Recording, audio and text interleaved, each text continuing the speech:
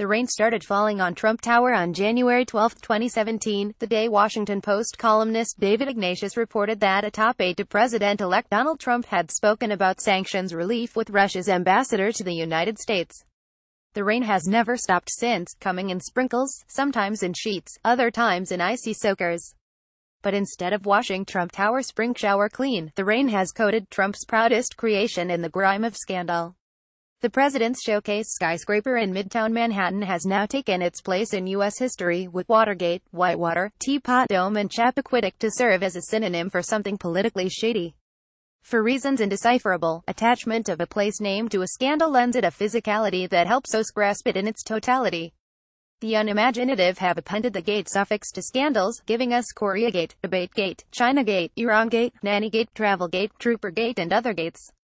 Some would have us call our current scandal Russiagate, but for reason of self-respect we must reject it because a better place moniker exists to describe all the Trump improprieties orbiting around Russia. Location being everything, let's agree to ditch the puns and wordplay and dub this scandal and all its heirs and forebears for the man and his signature moment in steel and glass Trump Tower. Story continued below Trump Tower was, of course, the scene of the still mysterious June 2016 meeting Trump's son, son-in-law and campaign director took with a bevy of Russians promising dirt on Hillary Clinton. It's the place where convicted felon, Trump business associate and Russian-American Felix Sater frequently popped into Trump's office to talk real estate and Russia deals.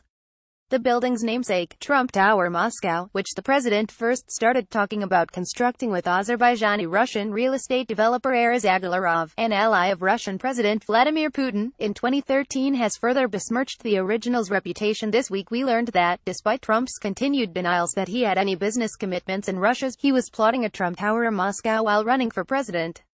Sater was close enough to Trump to have escorted Trump offspring Donald Jr. and Ivanka on a 2006 Moscow trip.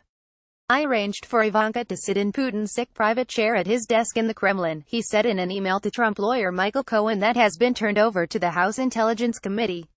He bragged to Cohen about how he could obtain a Russian partner for the new tower. Our boy can become president of the USA and we can engineer it, Sater wrote in a November 2015 message. I will get all of Putin's sic team to buy in on this, I will manage this process. In a press statement this week, Sater was still laying it on thick about the development, saying the plan was to build the world's tallest building in Moscow when a simple tallest building in Moscow would have sufficed. Cohen now concedes that he discussed Trump Tower Moscow with Trump at least three times between September 2015 and January 2016, roughly the period between the beginning of debate season and the landing of campaign troops in Iowa. In January 2016, Cohen sent an email to a top aide to Putin asking for help on the project. This concession comes after repeated assertions by Cohen that Trump had no Russia connections. Trump once told ABC News' George Stephanopoulos that his businesses had no relationship to Russia whatsoever. It's a tune that Trump and his associates have sung repeatedly.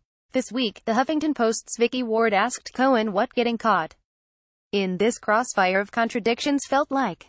I feel great, he said across the table at a coffee shop in the sunny Hamptons. I am in many respects just like the president. Nothing seems to rattle me, no matter how bad the hate. In a statement, Cohen discounted the hyperbole in the Sater emails as an example of his salesmanship. You may, however, prefer the way the New York Times put it, that the Sater emails establish that from the earliest months of Mr. Trump's campaign, his associates viewed close ties with Moscow as a political advantage. Wearing a pair of Gore-Tex mukluks, special counsel Robert Mueller waded into the gushing Trump Tower scandal, making incremental progress. He subpoenaed Paul Manafort's former lawyer and a former spokesman as part of his probe of the former Trump aide's business and tax dealings. His investigators were also asking questions about the president's knowledge about the June 2016 Trump Tower meeting, and whether he sought to conceal its purpose and Politico reported that his team had joined forces with New York Attorney General Eric Schneiderman on the Manafort investigation. Trump can't pardon those convicted of state crimes, all noted. Big storms have a way of striking not once but twice. Mueller's probe gathered additional force at week's end when news surfaced that he had obtained the first draft of the letter Trump co-authored with aide Stephen Miller to fire FBI Director James Comey. The letter could be key in proving that the Comey firing constituted obstruction of justice. Trump had previously held that Comey's sacking was the product of consultations with Attorney General Jeff Sessions and Deputy Attorney General Rod Rosenstein. The letter that Trump cited recommending the firing, written by Rosenstein, criticized Comey's handling of the Hillary Clinton email server investigation. The draft shows that Trump had decided to axe Comey before speaking to Sessions and Rosenstein and may help Mueller prove a pure motive, that Trump acted to blunt Comey's Russia's investigation. As the Trump Tower storm rages, the president's attorneys have met with Mueller several times, peppering his team with memos insisting on their client's innocence of any obstruction, the Wall Street Journal reported in a page one story. But all the president's lawyers can't keep the rain, the greasy, filthifying rain, from falling on the president. Like its Texas cousin, the Trump Tower storm just seems to acquire additional power each day, redrenching the president in scandal every time he looks up from his Twitter account. The floodwaters of scandal have breached the Trump Tower lobby and are rising. All the animals come out at night, the man once said. Someday a real rain will come and wash all the scum off the streets.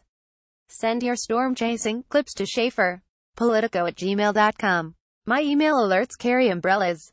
My Twitter feed wears a Mac. My RSS feed strips naked and goes with the flow.